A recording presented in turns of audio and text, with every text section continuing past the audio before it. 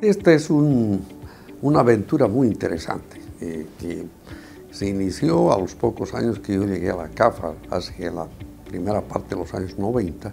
Fue fruto de una, de una charla con, con Enrique eh, García, que para entonces ya era presidente de la CAF, y, y, empezamos a hablar de la posibilidad de hacer una reunión anual, un poco para contar la situación de los países andinos, de lo que estaba ocurriendo. También decidimos que pues, era conveniente invitar al diálogo interamericano Uh, we designed the program. We went back and forth a little bit with Enrique Garcia. The best idea I had that day, though, was let's do it the first week after the summer vacations in Washington. En ese momento había una discusión muy seria e importante sobre los temas de comercio e inversiones en el hemisferio.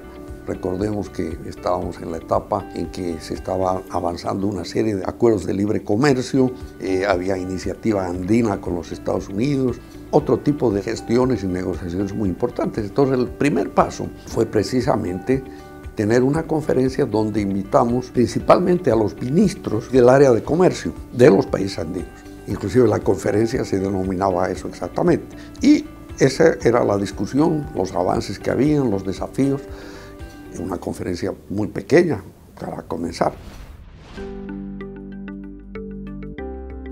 Se fue evolucionando, eh, por varios años estuvimos en el plano de la, la conferencia bajo ese mismo tópico, pero luego se dio un salto un salto en el sentido que no había que concentrarse simplemente en los temas de comercio e inversión, sino entrar a temas más amplios y más allá de los países miembros en esos momentos, que eran los andinos, poder expandirnos al resto de América Latina y al mismo tiempo de las relaciones hemisféricas en un sentido más amplio.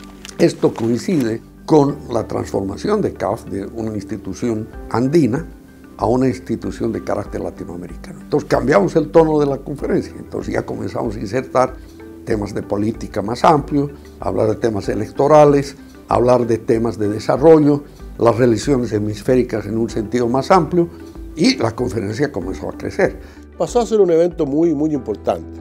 ¿Para qué diría yo? Yo sobre todo para sembrar en Estados Unidos la imagen de una América Latina, primero en esos años crecía mucho, que se hacía fuerte, que se hacía independiente, que tenía su propia voz, que quería tener sus propias instituciones y al mismo tiempo yo diría que quería tener también una buena relación hemisférica. Yo creo que todo eso se proyectó y ese fue un aporte muy crucial. Yo diría en los últimos seis a siete años ha tomado un, vuelo muy grande y hemos introducido temas que son muy relevantes. Por ejemplo, eh, el tema de Cuba. Un abordaje temático muy sincero y muy real que, no es el de las negociaciones internacionales, sino con planteos muy eh, directos de los problemas que existen en el continente y los caminos que podrían posibilitar esas soluciones. La conferencia fue una plataforma para proyectar esas nuevas eh, maneras de entender lo que estaba pasando. Yo creo que ha servido y sirve para tener un escenario de pluralidad donde se discuten temas bajo una perspectiva abierta. Es un medio para que países y líderes de países en el ámbito público y privado puedan expresar sus ideas y discutir inteligentemente.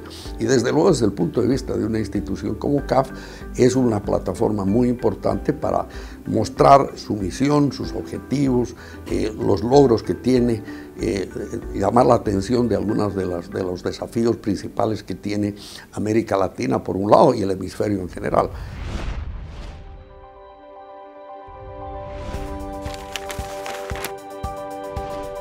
I think the CAF conference contributes an enormous amount to U.S. Latin American relations. It's been going on for 20 years, two decades, and it brings to Washington, D.C. some very influential people to talk about the critical issues. Es algo que nos sentimos muy orgullosos y es un trabajo de mucha gente y, y la alianza que hemos tenido con el diálogo y, y con la OEA ha sido muy importante. Como todas las cosas que tienen éxito, no puede estancarse y, no, no ser complaciente, lo cual significa que tiene que reinventarse periódicamente en términos de la agenda, de manera tal que los temas que se toquen sean de actualidad y de futuro, no solo de pasado, ni solo de presente, sino tiene que hablar del futuro.